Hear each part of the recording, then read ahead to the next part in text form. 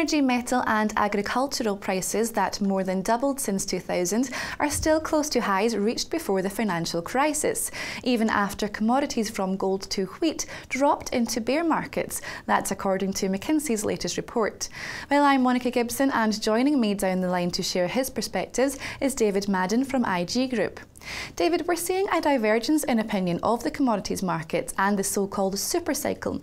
The surge in raw material output in the last two years and signs of cooling economic growth in China prompted Goldman Sachs and Citigroup to say the super cycle had ended, whereas McKinsey say long may it continue, citing a separation between new technology and productivity on one hand and emerging market demand and supply constraints on the other. What side of the economic fence would you say you are on? I would say that I'm I'm on the side of the side of the fence that I, I do believe that the the commodity super cycle is coming to an end. Uh, if we look at say China, uh, the second largest economy in the world, one of the largest importers of raw mat- materials such as copper, which is essential uh, in things like manufacturing and home building. China, for a number of years, was posting double-digit growth just around the same time as the eurozone crisis the eurozone was plunging into its current crisis and slowing down, and slowing down in the US. So if you look at the massive demand from China over the last number of years, it's still very, very high compared to Western economies. But I do think that we're the, the, the kind of the boom days of China buying up as, met, as much metals as they can get their hands on is is coming to an end. And I do feel that if you look at, at the kind of more base metals such as such as, such as copper, you will see a bit of a, a bit of a sell-off, a clear sell-off trend over the last couple of years. I don't think the market's going to, by any, any means going to crash, but I do feel that the days of when things are going to the moon and beyond, and everything is moving in one direction as far as commodities are go, as far as commodities are concerned, I do think those days are over. And traders are kind of adjusting their their their perception of China. is no longer the booming, but it's still in a very, very strong position. The manufacturing figures off in the last two months in China have been quite good. I believe manufacturing in China is at a six-month high. So we're, we're definitely in for a soft landing and not the massive credit crunch style decline some analysts were expecting. Amid stalling in Fed budget talks, the likelihood of a government shutdown and slowing China, analysts have said they do not envisage the gold market to revisit the same euphoria seen during the debt ceiling crisis in the mid 2011. Nonetheless, US debt ceiling concerns would be viewed as positive for bullion. Aspirations, however, of the $2,000 mark are a thing of the past, right? I do think the two thousand dollar mark for gold is is far behind us. Right. I'm not to say that gold will will always have the flight to quality factor which other metals uh, don't have. But I do think a level, such an ambitious level such as 2000 is well behind us.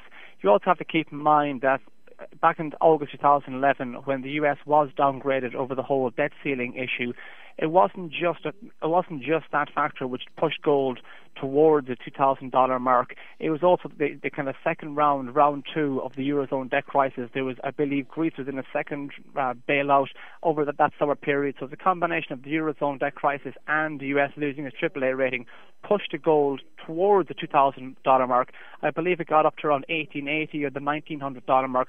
So if it didn't reach it, didn't reach $2,000 back over two years ago when the Eurozone debt crisis was in a much worse state and the debt ceiling was, was, was potential was on the cards.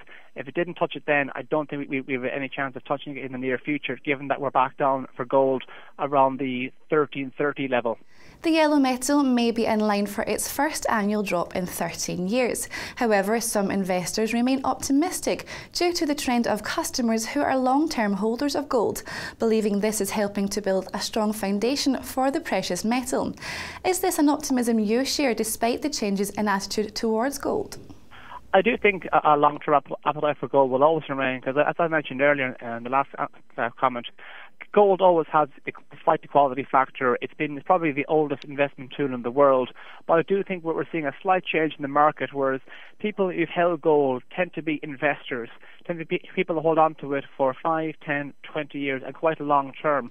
Whereas uh, for the last number of years, what we've seen is a lot of speculators coming into the market in the form of gold futures or gold ETFs, exchange traded funds. And given the turbulent times politically and economically we've seen in the last year or so, that that's why the price of gold ha- has come off so much. But I do think that in the long term, gold gold does have a bright future. We've spoken about the long term, but considering we have Chinese holidays next week and with the budget talk hanging over us, what is your outlook for gold in the coming months? I think gold is going to be very much looking towards what's going on the in the United States, uh, very much geared around the Federal Reserve, what they're going to do in terms of their quantitative easing process.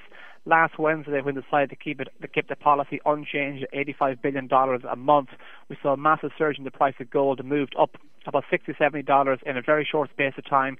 It's given us some of that gains, but given that we're, we're, we're heading towards the debt ceiling talks over in Washington D.C., gold will always have that kind of flight to quality factor.